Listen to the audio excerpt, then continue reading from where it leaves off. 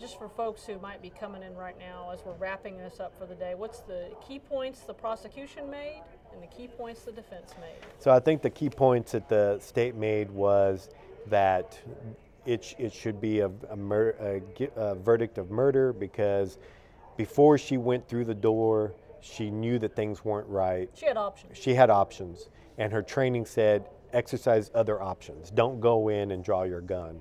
But because she chose to dis- disregard her training, disregard those options, and go through the door, she she became intentional, and she should be found guilty of murder. The defense is saying, you know, hey, she thought it was her house. Look at all these other people who were making similar mistakes.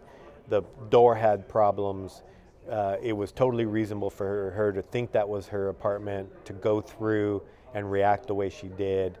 Terrible tragedy, but she had the right to, from in her perspective, which the jurors need to look at it from, she had every right to be there and do what she did. And of course, we're both surprised that criminally negligent homicide's not in the mix here. Very surprised that that was not part of it. Um, manslaughter and criminally negligent homicide are very, very similar uh, defenses. So to not have that in there, uh, or not defenses, but options, um, to not have that in there is very curious to me. Very curious. Well, we're going to wrap it up for the day. Again, this, will, this court will restart at 8:30, and it'll be kind of like this. We're waiting and watching, waiting to see what questions the jury might have, what exhibits they might ask for that'll hopefully telegraph uh, what they're looking at. And so we will see you again in the morning.